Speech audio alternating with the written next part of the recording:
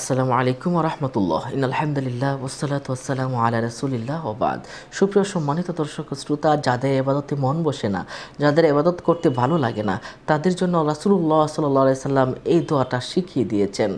মালিক যদি আমাদেরকে কাজ দেয় আর সেই কাজগুলোকে যদি আমরা সঠিকভাবে আদায় না করি, তাহলে কিন্তু মালিক আমাদের উপরে অসন্তুষ্টই হবেন। ঠিক তেমনিভাবে আল্লাহ পাক রব্বুল আলমী যিনি আমাদের মালিক, যিনি সব কিছুর মালিক, তার কাজগুলো যদি আমরা সঠিকভাবে আদায় না করে আমরা যদি আল্লাহর সামনে হাজির হই, তিনি কি আমাদের উপর খুশি হবেন? না, অবশ্যই হবেন না।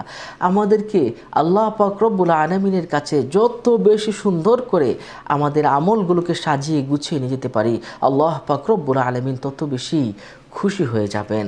সুবহানাল্লাহ। যদি আমরা কাজের পাশাপাশি যদি আরও সুন্দর করে আরও কিছু অতিরিক্ত কাজ করতে পারি, মালিক যেমন খুশি হয়ে আমাদেরকে পদোন্নতি দান করেন, ঠিক তেমনিভাবে আল্লাহ পাকরব্বুল আলমিনেও আমাদেরকে পদোন্নতি দেয়া দান করেন। যদি আমরা ফরজ কাজের পাশাপাশি তাহাজতে নামাজ ইশরাকের নামাজ, নফল নামাজ, নফল কাজগুলো, সুন্নত কাজগুলো যদি আমরা করে আল্লাহর দরবারে হাজির হতে পারি, আল্লাহ আমাদেরকে আল্লাহর অলিদের কাতারে সামিল করে দিবেন। আল্লাহ আমাদেরকে এলেমে আলম আমলে এবং বিভিন্ন দিক দিয়ে আল্লাহ আমাদের পদোন্নতি দান করবেন, সুবহানুল্লাহ। সুপ্রিয় সম্মানিত দর্শক ও শ্রোতা, মুসনাদে আহমদ শরীফে এবং নাসাই শরীফে, আবু দাউদ শরীফে এবং মিশকাত শরীফের একখানা হাদিস শরীফে এসেছে রাসুল্লাহ সাল্লাহ সাল্লাম। বলেছেন, যাদের আবাদত করতে মন চায় না, তারা যেন এই দোয়াটা পড়ে। আর মোয়াজ রদিউল্লাহ তালাহুকে রসুল্লাহ সাল্লাহ সাল্লাম এই দোয়াটা শিক্ষা দিয়ে বলেছেন, হে মোয়াজ তুমি প্রত্যেক ফরজ নামাজের পরে তুমি এই দোয়াটা পড়বে।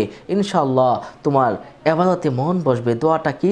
আল্লাহ হুম্মা আইনি আলা দিক্রিকা ওয়া শুক্রিকা ওয়া হুসনে ইবাদাতিকা। আমি আবারও বলছি আল্লাহ হুম্মা আইনি আলা দিক্রিকা ওয়া শুক্রিকা ওয়া হুসনে ইবাদাতিকা সুপ্রিয় সম্মানিত দর্শক শ্রোতা, এই দোয়াটির সুন্দর একটি অর্থ রয়েছে। অর্থ হলো, হে আল্লাহ, আমি আপনার কাছে সাহায্য চাই যাতে করে আপনাকে আমি স্মরণ করতে পারি। হে আল্লাহ, আমি আপনার কাছে সাহায্য চাই যাতে করে আপনার নিকট আমি কৃতজ্ঞ হতে পারি। হে আল্লাহ, আপনার নিকট আমি সাহায্য চাই যাতে আপনাকে ভালো, আপনার ভালো আবাদত করতে পারি, সব কাজগুলো সুন্দর মতো করতে পারি।